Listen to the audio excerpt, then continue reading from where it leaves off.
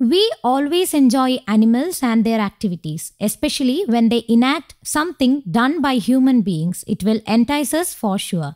The latest video of a gorilla riding a bicycle is going rounds across social media. On Wednesday, IFS officer Samrat Gowda took this hilarious video of a gorilla riding a bicycle to Twitter with a description that reads Stupid Cycle. Not only its ride, what it did after it fell from the cycle is more interesting. The ape just threw away the cycle in anger. In the visuals, a gorilla can be seen riding a small bicycle, whereas another one gorilla is seen resting in the sunny day. A few moments after the ride, the ape fell on the ground. The next shot will make you laugh out loud for sure. Gorilla just threw away the bicycle with maximum force as if the bicycle was not worth riding.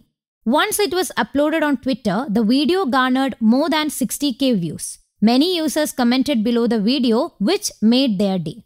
He is being like, Stupid cycle, how dare you made me fall? I don't want you anymore. One user commented. Another comment reads, Let's provide him with a better cycling infrastructure so that he can also feel happy and enjoy cycling. The now viral video of this gorilla is reaching more people, tickling their funny bones as a whole. News desk Kaumudi global.